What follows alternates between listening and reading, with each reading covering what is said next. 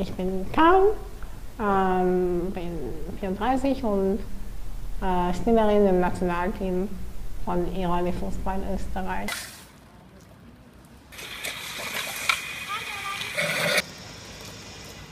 Irani Fußball ist eine Sportart für Menschen mit Behinderung, ähm, ausschließlich für Menschen, die einen äh, elektrischen Rollstuhl benutzen.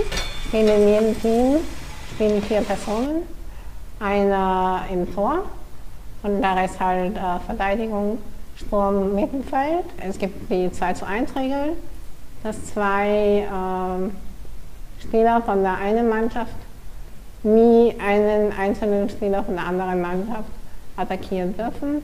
Dann gibt es Foul. Das ist so die wichtigste Regel noch. Und die Tore zählen. Ohne Tore kann man nicht gewinnen.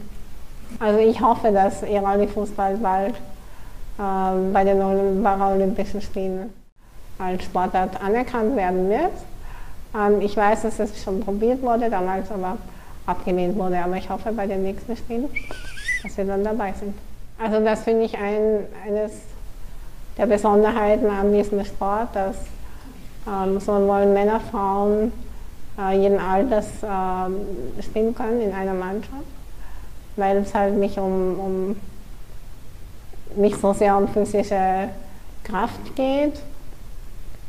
Ähm, ja, es ist halt sehr einzigartig im Sport, weil meistens eben Männer und Frauen getrennt sind. Und das ist schon was Besonderes und macht einfach auch Spaß. Heute in einer Woche mhm. fliegen wir nach London. Wow.